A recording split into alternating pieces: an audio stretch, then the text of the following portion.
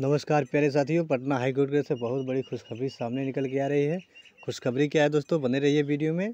पूरा का पूरा प्रोसेस आप लोगों को बताने जा रहा हूँ। उससे पहले दोस्तों, अगर आप मेरे चैनल पे नए हैं तो प्लीज़ चैनल को लाइक कर लीजिए सब्सक्राइब कर लीजिए और बेलाइकन दबा लीजिए। इससे क्या होगा दोस्तों, पटना हाईकोर्ट से जितनी भी जानकारी आएगी, सबसे पहले आप लोगों को देखने और सुनने को मिलेगा। जैसा कि दोस्तों, आप सभी को अब इंतज़ार है कट ऑफ़ और रिज़ल्ट को लेकर के। तो दोस्तों, हाई कोर्ट की तरफ़ से अभी ऐसा कुछ भी अनाउंस नहीं किया गया है, जिससे आप लोगों का रिज़ल्ट डेट कंफर्म हो। बट हाँ दोस्तों, सभी भाइयों के कमेंट के अनुसार कितना उन लोगों का मार्क्स आया था आंसर के आने के बाद, वो जो है हम लोग कट ऑफ़ जो प्रेडिक्ट किए हैं दोस्तों कट ऑफ़ थोड़ी सी हाई जा रही है बट ज़्यादा कुछ नहीं जाएगा दोस्तों, उसी के आसपास ही रहेगा। तो देख लीजिए कट ऑफ़ कितना जा रहा है। आखिर लगभग हज़ार बच्चे प्लस कमेंट किए कि मेरा इतना मार्क्स है, इतना मार्क्स है। उन्हीं के अनुसार जो है दोस्तों हम इस कट ऑफ़ को प्रेडिक्ट कर रहे हैं।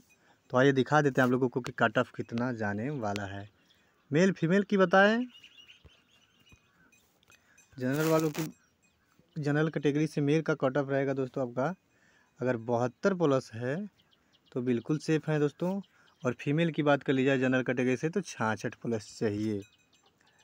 और ई डब्ल्यू एस की बात कर ली जाए तो उनहत्तर प्लस। मेल का और फीमेल की बात कर ली जाए तो पैंसठ प्लस। और ओबीसी की बात कर ली जाए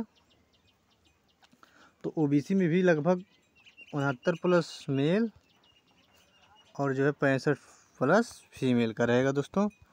और एससी और एसटी की बात कर ली जाए तो एससी में अगर आपके तिरसठ प्लस हैं मेल के और छप्पन प्लस हैं फीमेल के तो बिल्कुल सेफ़ हैं दोस्तों। और एसटी की बात कर ली जाए, अगर मेल में अंठावन प्लस फीमेल का पचपन प्लस आ रहा है तो आप लोग यहाँ पर एकदम बिल्कुल सेफ़ हैं दोस्तों। एक कटअप जो है दोस्तों, बहुत सारे भाइयों को कमेंट के उसका लिया गया है। बस इसी के साथ अपने वीडियो को समाप्त करना चाहते हैं, फिर मिलते हैं अगले वीडियो में जैसे कोई खबर आती है, तब तक के लिए धन्यवाद। जय हिंद, जय भारत।